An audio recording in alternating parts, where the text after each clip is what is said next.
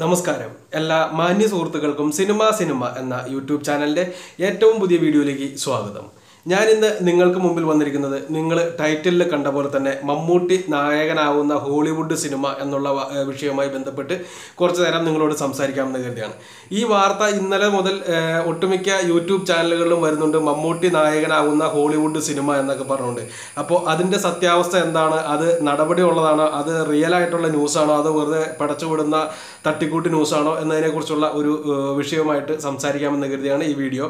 വീഡിയോയിലേക്ക് കടക്കും മുമ്പ് ആദ്യമേ ഒരു കാര്യം പറഞ്ഞോട്ടെ നിങ്ങൾ ആദ്യമായിട്ടാണ് എന്റെ ഈ ചാനൽ കാണുന്നതെന്നുണ്ടെങ്കിൽ ദയവ് ചെയ്ത് നിങ്ങൾ ഈ ചാനൽ ഒന്ന് സബ്സ്ക്രൈബ് ചെയ്യാൻ ശ്രമിക്കുക. ഇത് പൂർണമായിട്ടും ഒരു സിനിമ ബേസ് ചെയ്തിട്ടുള്ള ഒരു ചാനലാണ്. അതുകൊണ്ട് തന്നെ സിനിമയെ സ്നേഹിക്കുന്ന ആർക്ക് വേണമെങ്കിലും ധൈര്യമായിട്ട് ഈ ചാനൽ സബ്സ്ക്രൈബ് ചെയ്യാവുന്നതാണ്. അപ്പോൾ ഈ വിഷയത്തിലേക്ക് കിടക്കുമ്പോൾ മുമ്പ് വേറൊരു കാര്യം കൂടി പറയണമെന്ന് ഞാൻ ആഗ്രഹിക്കുന്നു. കാരണം കുറച്ച് ദിവസങ്ങളായിട്ട് സ്ഥിരമായിട്ട് എന്റെ ചാനലിൽ വരുന്ന കമന്റുകളുടെ ഇതിനകത്തുനിന്ന് ഞാൻ മനസ്സിലാക്കിയതാണ്. കുറേ മോഹൻലാൽ ആരാധകർ നിങ്ങൾക്ക് എല്ലാവർക്കും അറിയാം എന്റെ ഈ ചാനലിൽ അധികമായിട്ടും വരുന്ന വീഡിയോസ് എന്ന് പറഞ്ഞാൽ മോഹൻലാലിന്റെതോ അല്ലെങ്കിൽ മമ്മൂട്ടിയുടേതോ ആയിട്ടുള്ള വീഡിയോസാണ് ഒരു ഫാൻ ഫൈറ്റ് എന്നുള്ള രീതിയിലല്ല ഞാൻ അതിനെ കാണുന്നത്. അതുപോലുള്ള വീഡിയോകൾ ചെയ്യാൻ എനിക്ക് ഇഷ്ടമായതുകൊണ്ടും അതുപോലുള്ള വീഡിയോസ് കാണുന്ന പ്രേക്ഷകരാണ് എന്റെ ചാനലിൽ കൂടുതലുള്ളതും എന്നതുകൊണ്ട് മാത്രമാണ് ഞാൻ അങ്ങനെയുള്ള വീഡിയോസ് തിരഞ്ഞെടുക്കുന്നത്. ഇപ്പോൾ രണ്ട് മൂന്ന് ദിവസമായിട്ട് മോഹൻലാലിന്റെ വീഡിയോസ് ഒന്നും ചെയ്തിട്ടില്ല. എനിക്ക് തോന്നുന്നു രണ്ടോ മൂന്നോ ആഴ്ചയായിട്ട് രണ്ടാഴ്ചയിലധികമായി ഞാൻ മോഹൻലാലിന്റെ വീഡിയോസ് ചെയ്തിട്ട്. അപ്പോൾ സ്ഥിരമായിട്ട് മോഹൻലാൽ ആരാധകരുടെ ഒരു കമന്റ് വരുന്നുണ്ട്. ഞാൻ മോഹൻലാലിനെ വിട്ട് മമ്മൂട്ടിയുടെ പുറകെ പോയി എന്ന് പറഞ്ഞിട്ടുള്ള ഒരു കമന്റ് വരുന്നുണ്ട്. അതിന്റെ റിപ്ലൈ കമന്റുകളായിട്ട് മമ്മൂട്ടിയുടെ ആരാധകർ വരുന്നുണ്ട് പറയുന്നുണ്ട്. മമ്മൂട്ടി വീഡിയോസ് ചെയ്താലാണ് വ്യൂവേഴ്സ് കിട്ടുന്നത്. അതുകൊണ്ടാണ് മമ്മൂട്ടിയുടെ വീഡിയോസ് ചെയ്യുന്നത് മോഹൻലാലിന്റെ വീഡിയോസ് ചെയ്യാത്ത അതുകൊണ്ടാണെന്നൊക്കെ പറഞ്ഞുകൊണ്ട് വരുന്നുണ്ട്. സത്യം എന്താണെന്ന് വെച്ച് കഴിഞ്ഞിട്ടുണ്ടെങ്കിൽ നിങ്ങൾക്ക് എല്ലാവർക്കും അറിയാം ഇപ്പോൾ കൊറോണയാണ് സിനിമ എല്ലാ കാര്യങ്ങളില്ല എല്ലാ എല്ലാ കാര്യങ്ങളും നിങ്ങൾക്ക് അറിയാവുന്നതാണ്. ഒരു ചാനലിൽ തന്നെ വ്യൂവേഴ്സ് ഇല്ല എന്നതും നിങ്ങൾക്ക് എല്ലാവർക്കും സിനിമ ബേസ് ചെയ്തിട്ടുള്ള ഏത് ചാനലിൽ പോയി നോക്കിയാലും നിങ്ങൾക്ക് അറിയാം. പിന്നെ വെറുതെ എന്താണ് ചുമ്മാ ന്യൂസുകൾ ക്രിയേറ്റ് ചെയ്ത് വലിയ വലിയ വാർത്തകളൊന്നും പറഞ്ഞുകൊണ്ട് പ്രതീക്ഷ ഇത് ചെയ്യുന്ന ഒന്ന് രണ്ട് ചാനലുകളുണ്ട് ഞാൻ പേര് പറയുന്നില്ല. അവരുടെ ചാനലിലെ വ്യൂവേഴ്സ് ഉണ്ട്. കാരണം ഹൈപ്പ് എന്ന് പറയുന്ന രീതിയിലേക്ക് അവർ ചാനലിനെ വളർത്തി ആ ഒരു രീതിയിൽ വെറുതെ നുണ അടിച്ചു വിടുന്ന ചാനലുകൾക്ക് തീർച്ചയായിട്ടും വ്യൂവേഴ്സ് ഉണ്ട്. അപ്പോൾ അങ്ങനെയുള്ള ചാനലുകൾ വിട്ടിട്ട് ന്യൂസുകൾ കൊടുക്കുന്ന പല ചാനലുകളും ഇപ്പോൾ സ്ഥിരമായിട്ട് വീഡിയോ ചെയ്യുന്നില്ല എന്നുള്ള കാര്യം നിങ്ങൾക്ക് നോക്കിയാൽ അറിയാൻ പറ്റും. ഇപ്പോൾ ഐക്യു മീഡിയ പോലുള്ള വലിയ ചാനലുകളൊക്കെ അവർ സ്ഥിരം മൂന്ന് വീഡിയോ വീതം ചെയ്തുകൊണ്ടിരുന്നതാണ് പുള്ളി. ഇപ്പോൾ ഒന്നരാടം ഒക്കെയാണ് പുള്ളി ഇപ്പോൾ വീഡിയോ ചെയ്യുന്നത്. കാരണം വ്യൂവേഴ്സ് ഇല്ല വാർത്തയില്ല അതൊക്കെ തന്നെയാണ് കാരണം. ഞാനാണെന്നുണ്ടെങ്കിൽ പുതിയ വാർത്തകൾ വളരെ കുറച്ച് മാത്രമേ കിട്ടാറുള്ളൂ. അതുകൊണ്ട് പഴയ വീഡിയോസ് എടുത്തിട്ട് അതിനെ വച്ചിട്ടുള്ള റിവ്യൂ ചെയ്യലോ കാര്യങ്ങളൊക്കെ ആയിട്ടാണ് ഞാനും പോകുന്നത്. അത് അതുപോലെ തന്നെയാണ് മോഹൻലാലിന്റെ വീഡിയോസ് ഇപ്പോൾ നിലവിൽ ഒന്നും തന്നെ വാർത്തകളൊന്നും തന്നെ വരുന്നില്ല. പുതിയ വാർത്തകൾ വരുന്ന സമയത്ത് മാത്രമേ മോഹൻലാലിന്റെ വാർത്തകൾ കൊടുക്കാൻ സാധിക്കത്തുള്ളൂ. അല്ലാതെ വെറുതെ മോഹൻലാലിനെ കുറിച്ച് മാത്രം വീഡിയോ ചെയ്യുന്ന ഒരു ചാനലുണ്ട്. ആ ചാനലിൽ വരെ വാർത്തയൊന്നും ഇല്ലാതെ പുള്ളി എന്തൊക്കെയോ തട്ടിക്കൂട്ടി വിടുന്നുണ്ട്. അപ്പം അങ്ങനെ ചെയ്യാൻ താല്പര്യമില്ലാത്തതുകൊണ്ടാണ് റിയൽ ന്യൂസ് വന്നിട്ട് ചെയ്യാമെന്ന് കരുതിയാണ് വെയിറ്റ് ചെയ്യുന്നത്. നല്ല ന്യൂസ് വരുമ്പോൾ തീർച്ചയായിട്ടും വരും. ഇല്ല എന്നുണ്ടെങ്കിൽ ഇങ്ങനെ തന്നെ പോകും. ഇനിയിപ്പോൾ ന്യൂസ് വന്നോന്നുണ്ടെങ്കിൽ ദൃശ്യം ടുവിന്റെ റിലീസ് ഇത് ഷൂട്ടിംഗ് ആരംഭിക്കണമെങ്കിൽ മാത്രമേ മോഹൻലാൽ ബേസ് ചെയ്തിട്ടുള്ള വാർത്തകൾ വരാൻ സാധ്യതയുള്ളൂ. ഇപ്പോൾ വരുന്നത് മോഹൻലാൽ മമ്മൂട്ടിയുടെയും ദുൽഖറിന്റെയും പൃഥ്വിരാജിന്റെയും അതുപോലെ തന്നെ സുരേഷ് ഗോപിയുടെയൊക്കെ വാർത്തകളാണ്. അതാണ് ഇതിനകത്ത് കൂടുതലായിട്ട് കൊടുക്കുന്നത്. ഞാൻ സമയം കുറച്ച് ലേറ്റായി പോയി. നമുക്ക് കാര്യത്തിലേക്ക് കിടക്കാം. മമ്മൂട്ടിയുടെ ഹോളിവുഡ് സിനിമ എന്ന് പറഞ്ഞുകൊണ്ടാണ് ഇപ്പോൾ വീഡിയോസ് വരുന്നത്. മമ്മൂട്ടിയുടെ ഹോളിവുഡ് സിനിമ എന്നുള്ള ആ വിളിപ്പേരിനെ ഞാൻ എതിർക്കുന്നു. മമ്മൂട്ടിയുടെ ഇംഗ്ലീഷ് സിനിമ വരുന്നുണ്ട് എന്നത് സത്യമാണ്. പക്ഷേ ഈ ഹോളിവുഡ് സിനിമ എന്നുള്ള വാക്കിന്റെ അർത്ഥം പലർക്കും അറിയില്ല എന്ന് തോന്നുന്നു. അതുകൊണ്ടാണ് അങ്ങനെ എല്ലാവരും തന്നെ കമന്റ് ചെയ്യുന്നത്. ഹോളിവുഡ് സിനിമ എന്ന് പറഞ്ഞാൽ ഹോളിവുഡ് അമേരിക്കയിലെ ഹോളിവുഡിലുള്ള വലിയ കമ്പനികൾ പ്രൊഡ്യൂസ് ചെയ്യുന്ന അവരുടെ അമേരിക്കൻ സിനിമകളെയാണ് ഹോളിവുഡ് സിനിമകൾ എന്ന് പറയുന്നത്. ഒരിക്കലും എല്ലാ ഇറങ്ങുന്ന എല്ലാ ഇംഗ്ലീഷ് സിനിമകളെയും ഹോളിവുഡ് സിനിമകൾ എന്ന് പറയില്ല. പ്രത്യേകിച്ച് ബ്രിട്ടീഷ് സിനിമകൾ ഇംഗ്ലണ്ടിൽ നിന്ന് വരുന്ന സിനിമകൾ അതുപോലെ തന്നെ ആ ഏരിയയിൽ മറ്റേ എന്താണ് അയർലൻഡിൽ നിന്ന് വരുന്ന സിനിമകൾ ഇതിനെയൊന്നും ആരും ഹോളിവുഡ് സിനിമകൾ എന്ന് വിളിക്കാറില്ല.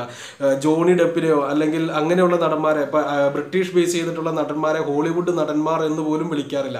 അവരെ ഇംഗ്ലീഷ് നടന്മാർ എന്നാണ് വിളിക്കുന്നത്. നിങ്ങളൊന്ന് ആലോചിച്ച് നോക്കുക ജോണി ഡെപ്പ് എന്ന് പറഞ്ഞാൽ എത്ര വലിയ സൂപ്പർ സ്റ്റാർ ആണെന്ന് ആലോചിച്ച് നോക്കുക അപ്പോൾ അങ്ങനെയുള്ള നടന്മാർക്ക് നടന്മാരെ പോലും ഹോളിവുഡ് നടന്മാരെന്ന് വിളിക്കുന്നില്ല. അത് അവരുടെ സിനിമകളെ ഹോളിവുഡ് സിനിമകളെന്നും വിളിക്കുന്നില്ല. മമ്മൂട്ടിയുടെ ഈ സിനിമ ഇംഗ്ലീഷ് സിനിമ എന്നുള്ള വിഭാഗത്തിലാണ് വരുന്നത്. അത് കാരണം രാജ് ടി കെ രാജീവ് കുമാർ എന്ന് പറയുന്ന മലയാളിയായിട്ടുള്ള സംവിധായകൻ ചെയ്യുന്ന ഇവിടുത്തെ പ്രൊഡക്ഷൻ കമ്പനി പ്രൊഡ്യൂസ് ചെയ്യുന്ന ഒരു Indian cinema Indian English cinema എന്നുള്ള വിഭാഗത്തിൽ വരുന്ന സിനിമയായിരിക്കും മമ്മൂട്ടിയുടേതായിട്ട് വരാൻ പോകുന്നത് എന്നുള്ള കാര്യം ആദ്യമേ പറയട്ടെ. പിന്നെ ഈ വാർത്ത സത്യമാണോ എന്ന് വെച്ചാൽ വാർത്ത സത്യമാണ്. T K Rajeev Kumar already അത് പറഞ്ഞതാണ്. അതിന്റെ സ്ക്രിപ്റ്റ് റെഡിയാണ് അത് മമ്മൂട്ടിയോട് പറഞ്ഞു എന്നും മമ്മൂട്ടിക്ക് അത് സബ്ജക്റ്റ് ഇഷ്ടപ്പെട്ടു ഇഷ്ടപ്പെട്ടു എന്നും മമ്മൂട്ടി ചെയ്യാൻ പോകും താല്പര്യം പ്രകടിപ്പിച്ചു എന്നുമുള്ള കാര്യങ്ങൾ വരെ ടി കെ രാജീവ്കുമാർ പറഞ്ഞിട്ടുണ്ട്. അതുകൊണ്ട് അങ്ങനെ ഒരു സിനിമ വരും എന്നുള്ള കാര്യത്തിൽ യാതൊരുവിധ സംശയവും വേണ്ട. അത് സിനിമ ഉള്ളത് തന്നെയാണ്. അതുപോലെ തന്നെ എടുത്തു പറയേണ്ടതാണ് ഇത് മമ്മൂട്ടിയുടെ ആദ്യത്തെ ഇംഗ്ലീഷ് സിനിമയല്ല. ഇതിക്ക് മുമ്പ് നിങ്ങൾക്ക് പലർക്കും അറിയാവുന്നതായിരിക്കും. മമ്മൂട്ടി ഫാൻസിന് എന്തായാലും അറിയാവുന്നതായിരിക്കും. ഡോക്ടർ അംബേദ്കർ എന്ന് പറയുന്ന സിനിമ ഹിന്ദി സിനിമയൊന്നുമല്ല. അത് ഒരു ഇംഗ്ലീഷ് സിനിമ തന്നെയാണ്. അതും ഈ പറഞ്ഞ പോലെ തന്നെ ഇന്ത്യൻ ഇംഗ്ലീഷ് സിനിമ എന്ന് പറയുന്ന വിഭാഗത്തിൽ തന്നെ വരുന്നതാണ്.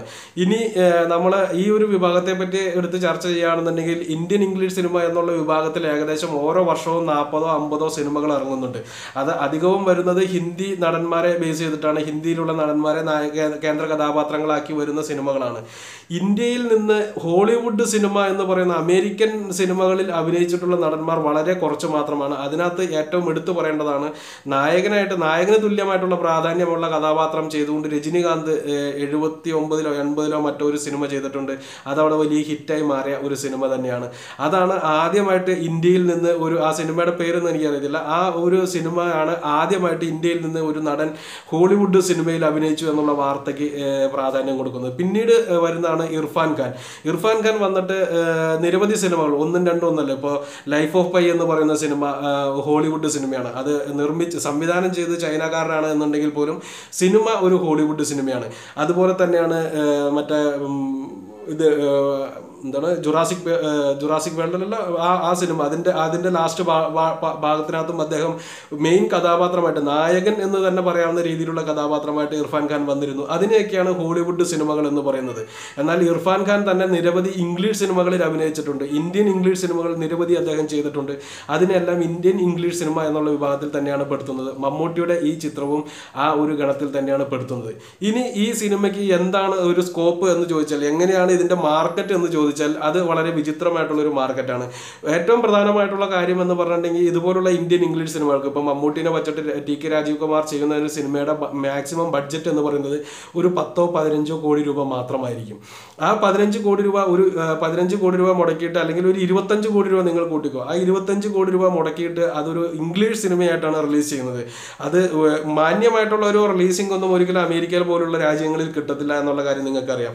കാരണം ഇപ്പോൾ നമ്മുടെ ഇവിടെ കേരളത്തിൽ തന്നെ ഒരു പതിനഞ്ച് ലക്ഷം ഇരുപത് ലക്ഷം രൂപയ്ക്കൊക്കെ സിനിമകൾ പിടിച്ച് തിയേറ്ററുകളിലേക്ക് വരുന്നുണ്ട്. ആ സിനിമകൾക്കൊന്നും ഒരിക്കലും നല്ല രീതിയിലുള്ള ഒരു റിലീസോ കാര്യങ്ങളോ കിട്ടാറില്ല.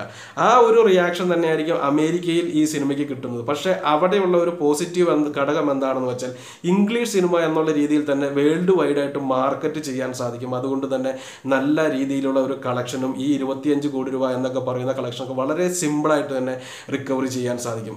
എന്തെങ്കിലും സിനിമയുടെ ബഡ്ജറ്റ് ഒന്നും ഇതുവരെ ഔദ്യോഗികമായിട്ട് പുറത്ത് വിട്ടിട്ടില്ല എങ്കിലും ഏഹ് ഏകദേശം ആ ഒരു റേഞ്ച് ആവും ഈ പറഞ്ഞ സിനിമകൾക്കൊക്കെ ഇതിനും വരുന്നത്. കാരണം ഞാനത് പറയാൻ കാരണം ഇന്ത്യയിൽ നിന്ന് നിർ- നിർമ്മിക്കുന്ന ഇംഗ്ലീഷ് സിനിമകളുടെ എല്ലാം കോമൺ ബഡ്ജറ്റ് ഏകദേശം ഈ പറഞ്ഞ ഒരു മുപ്പത് കോടി രൂപയ്ക്ക് താഴെ മാത്രമാണ്.